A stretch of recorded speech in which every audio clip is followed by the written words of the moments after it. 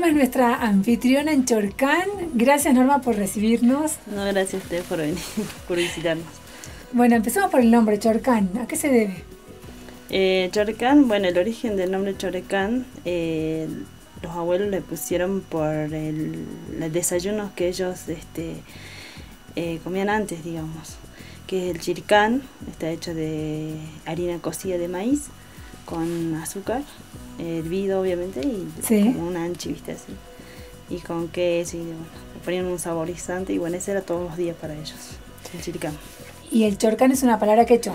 Sí, eh, chorcán también es una palabra quechua que viene de chorco, chorcán, de algo seco. Bueno, el lugar lo dice, claro. algo seco. Tenemos las lajas y todo eso, sí.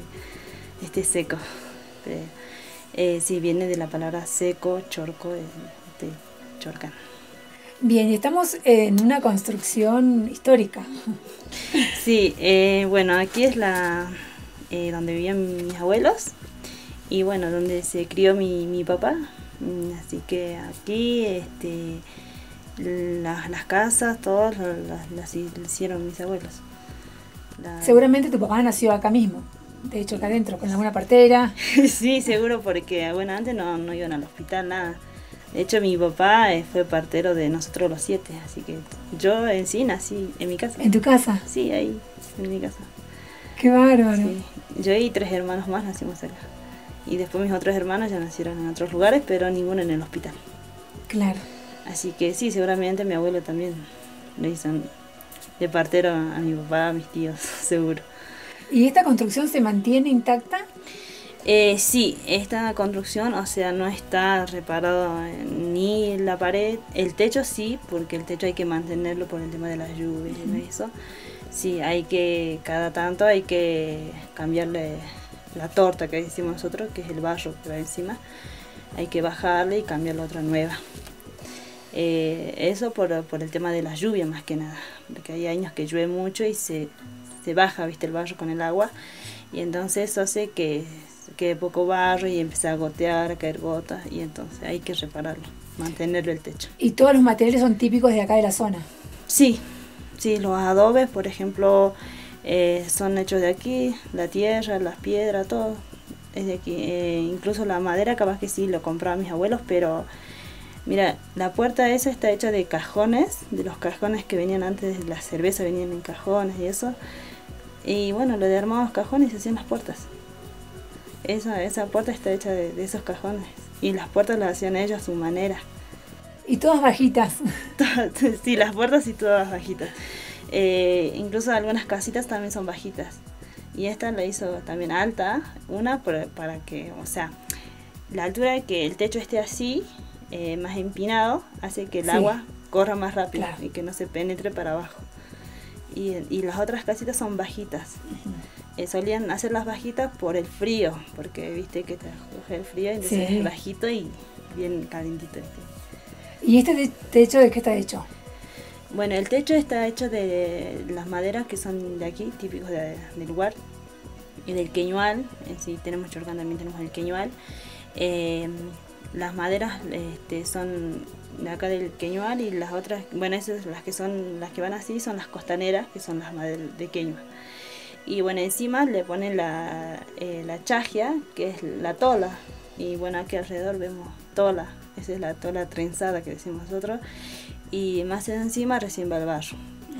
Y, y bueno, después por las orillas de, del techo, a las afueras, pero eh, le ponen este paja amarilla, que también se consigue acá.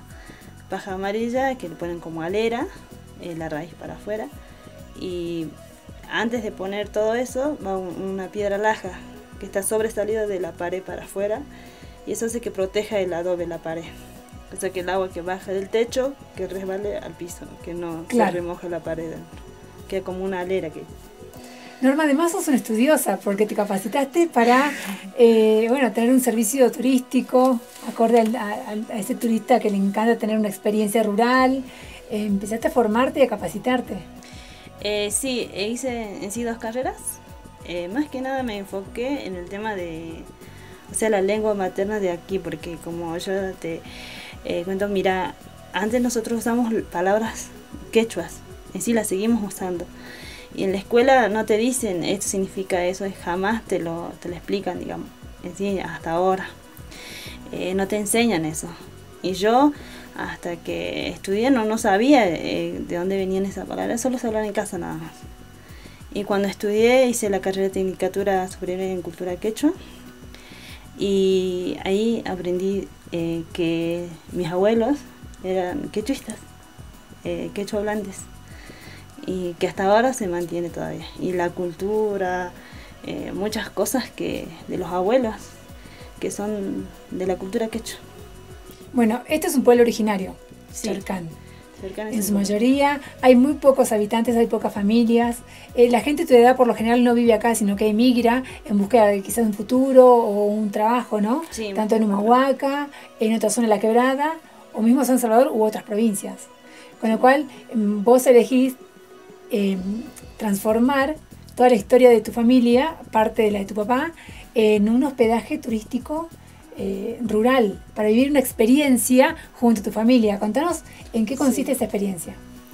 Bueno, eh, nuestra experiencia, lo que yo ofrezco, lo que nosotros ofrecemos en familia, eh, es que el turista venga y sea parte de nuestra vida diaria, digamos, desde que se levanta hasta que se acuesta.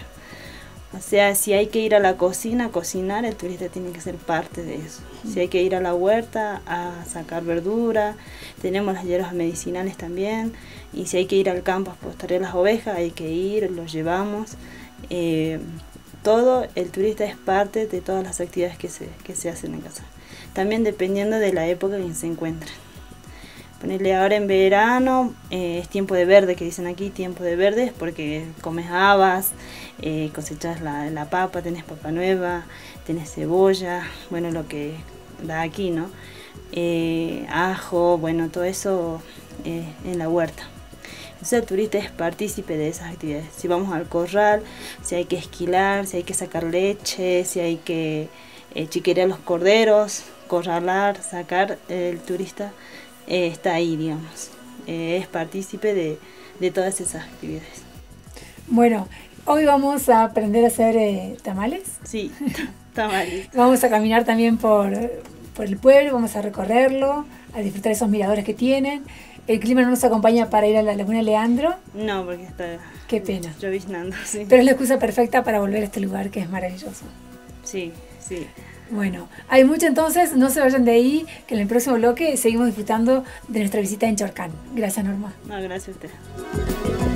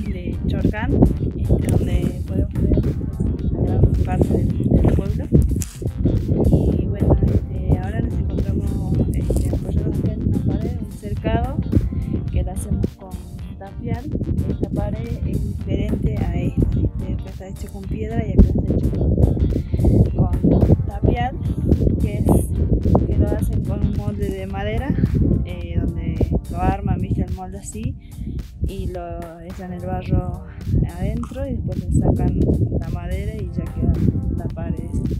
Y bueno, adentro este lo usan como cercado para conservar el pasto para el invierno y también para sembrar. Ahí vemos que hay habas, más abajo hay cebada. nada, eso, o sea, más que nada para esto también dura la pared porque la lluvia no le desgasta, le ponen la encimera que es esto. Entonces la, la, pared no, no, se cae ni tampoco la lluvia lo, desmorona el, el barro.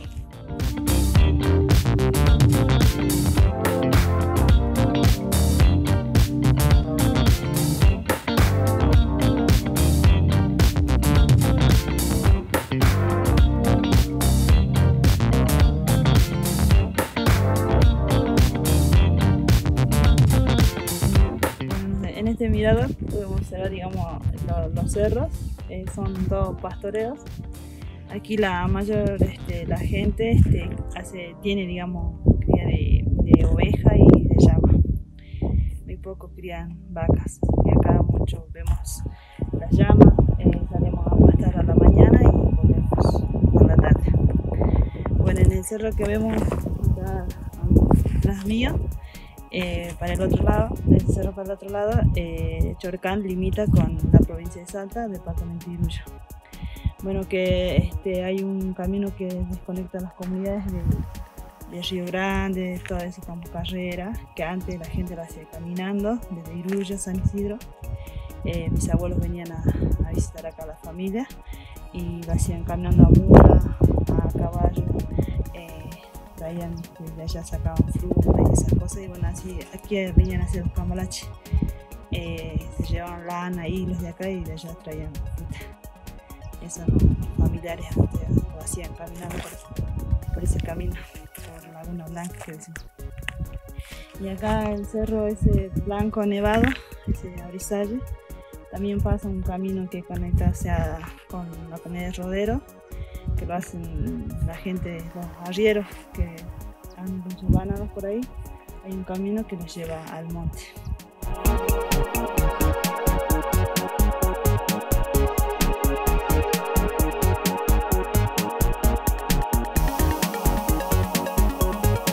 Nos encontramos en la casa de Verónico, que bueno, les voy a contar un poco de lo que eh, fue protagonista, eh, por ejemplo en los años 70 se filmó una película que se llama La deuda interna. Este, bueno, Chorcán era el centro, el lugar donde se filmó la gran parte de la película. Eh, ahora nos encontramos aquí en, la casa de Verónico, donde vi el protagonista, el niño Verónico.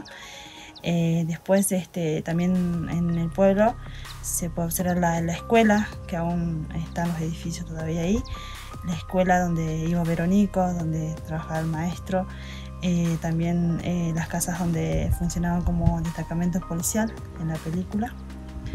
Eh, también hay otras viviendas de domicilios de familiares que vivían aquí. también aparece que de una fiesta, algo así que se hacía en las comunidades, ¿viste? De festejando este, un misa chico, algo así se muestra en la película y después se muestra gran parte de, del lugar, de la comunidad, de distintos lugares, digamos, de frente también tenemos ahí una parte que se ve un poco el pueblo, de aquí también tenemos el pueblo también que se ve todo.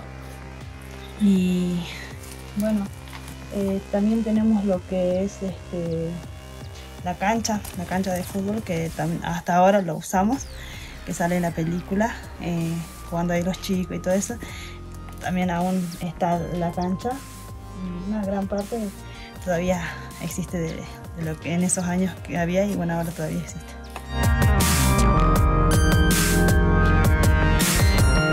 Eh, bueno, si bien este, yo soy joven, pero en la escuela, o sea, desde que yo me acuerdo, siempre nos hacíamos ver, digamos, la película de la deuda interna para que nosotros conozcamos nuestro, digamos, nuestra comunidad, a dónde eh, se filmó y todo eso.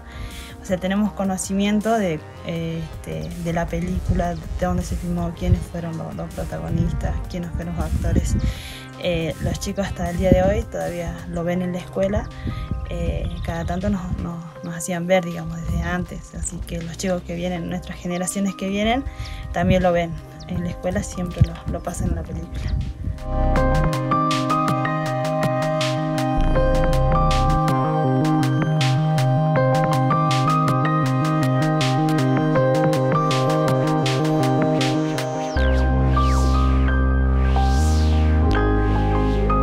Encontramos ahora en, la primera escuela que funciona en Charcán, en el año 63, 1963.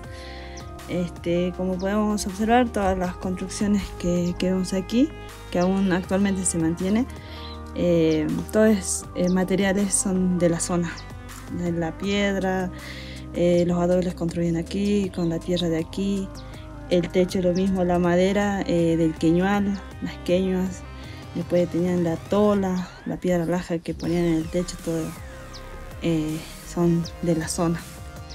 Y bueno, aquí funcionaba como ahí tenemos el horno, la cocina, eh, tenemos las aulas que funcionan también en esos años, ya funcionaba el albergue. Entonces los chicos que venían de lejos se quedaban al albergue. Eh, acá se dividían entre los albergues y, los cursos. Y bueno, este, este era el patio, funcionaba como patio de, los alumnos. Y bueno, la escuela este, ya desde un principio funcionó con un comedor eh, con albergue. Y así que, y dice que, va, mi papá fue uno de los primeros alumnos que existió acá en la escuela. Y él me cuenta porque él ya de grande inició la escuela, porque acá no había escuela, se iban a las comunidades vecinas. Entonces él me cuenta que, o sea, eran muchos los chicos y la gran mayoría eran grandes, de 14, de 12, de 11 años eran los chicos que iban a primer grado, segundo grado y, era una sola maestra y una, este, un personal de servicio que cocinaba, limpiaba a todos los chicos. Y bueno, dice que la maestra eh, les pedía el labio, que era para comer, porque no abastecía con el comedor. Para... Entonces comían un platito cada uno y, y ellos este, se traían el labio, que sea el tostado, se traían la harina cocida, se traían este mote y con ellos, con eso se, eh, alimentaban, viste, que tenían hambre, porque era todo el día, digamos, ya era jornada completa la escuela. Entonces todo el día se pasaban acá.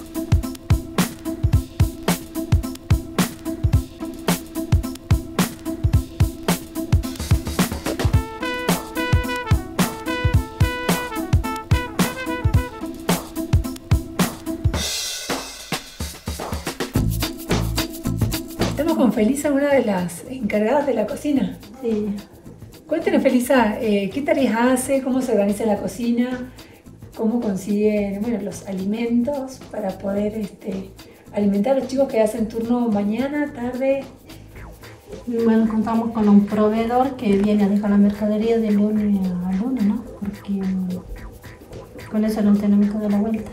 Primero hacemos el menú y a base del menú, bueno, vamos trabajando con la mercadería que nos proviene el proveedor.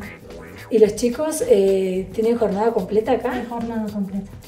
¿Y qué, qué sirven ustedes? ¿Desayuno? Este, a la mañana desayuno, después el almuerzo, merienda y cena. Y algunos chicos que están fuera de esta comunidad, que vienen otros, son de, de quedarse encargados. Claro, por ejemplo de Aparso. Sí. Es decir, que acá se quedan toda la semana. Sí, de lunes a viernes. De lunes a viernes. ¿Y usted se ocupa del almuerzo o de la cena? Por la tarde. De las cuatro y media entro a hacer el desayuno y la cena y, y cuando hay chicos para quedarnos me quedo a dormir con ellos. ¿Y actualmente cuántos niños hay? Y bueno, había 15, hasta ahora estamos con dos, tres porque están algunos ingripados con todo esto, recién el empiezo. Claro. Que soy algunos papás que no nos alcanza como para poder provenir con todos los útiles, calzados, lo que fuera. Claro. No le están mandando, pero, después sí, mandan los Bien. Y ahí tenemos a tu compañera. Sí. Que está haciendo unas ricas pizzas. Me invitaron hoy a almorzar. Hoy viernes. Hoy ya dejamos este lugar. Uy, casi me caí. Bueno, a ver, contanos tu nombre. Sebastiana. Sebastiana, ¿vos sos de acá? Sí. ¿Nacida en Cholcán? Sí. ¿Criada en Cholcán? Criada en Cholcán. ¿Viniste a esta escuela? Toda mi vida y he estudiado acá en esta escuela. Mira vos qué lindo. Sí. ¿Y tus hijos vienen acá? Eh, sí, mi niña está estudiando ahora acá la primaria, la secundaria mi hijo también así que. Bien, todo en Chorcan. Bueno, contame vos cómo te organizás con la cocina. Hoy te toca hacer pizza. Hoy me tocó las pizzas, sí. Eh, bueno, como acostumbramos a hacer la vigilia, Eh, bueno, decidimos hacer la pizza, que alimento que Claro. no se come carne, digamos. Sí, sí. Así que bueno. Y si no, ¿qué otros menús pueden haber? Eh, bueno, depende del menú, lo que hagan los docentes, así que. Pero. eh, Pero la alimentación es buena, ¿no? sí, Hace, sí, sí. eh, tiene fideos, hay carne. Eh, claro, todo lo que sea lácteo, eh, verdura, sí. Bueno, además tienen una huerta sí. con un invernadero. Hay un invernadero también, sí. Así que bueno, estamos con, con todos los alimentos que nos trae el proveedor, obviamente. Bueno, gracias. No está bien.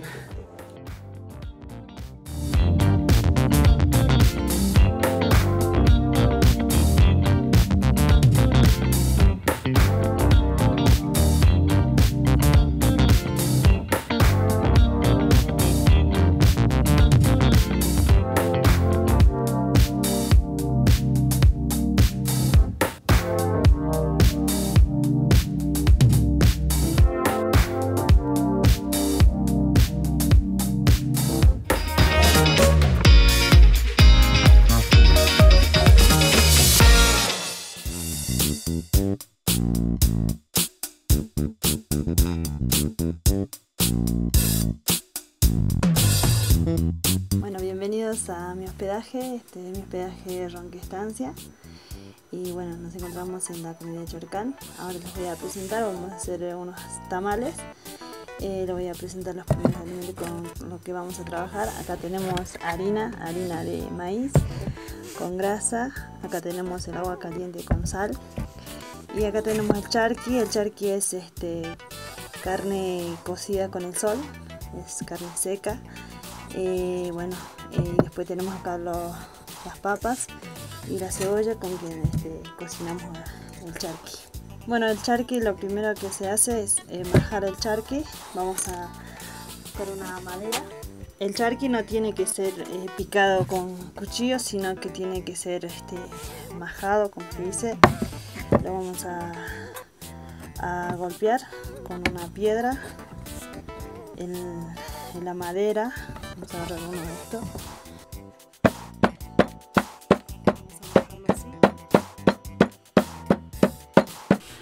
Vamos a hacer una parte así como para que se vea esto. El charqui va a quedar así.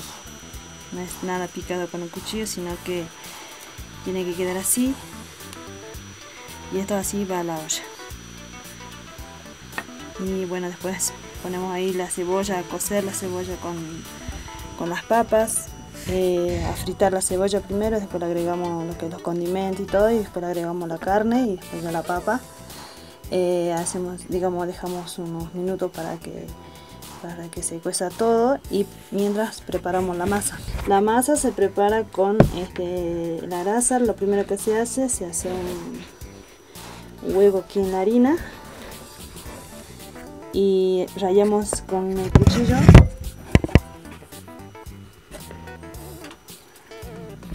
la grasa. Le rayamos así.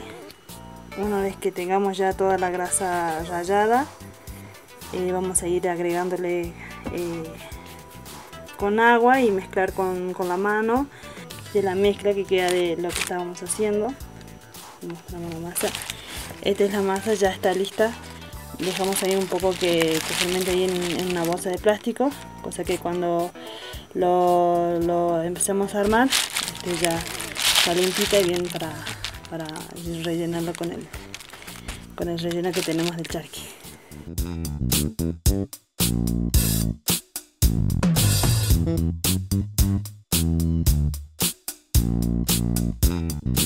Eh, bueno, acá esta es la chala donde va armado, este, envuelto el, el tamal.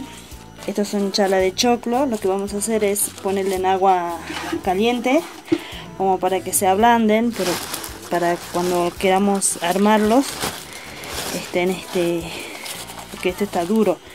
Entonces se, se tiene que ablandar. Y eh, para eso necesitamos que, que estén 5 minutos más o menos en el agua.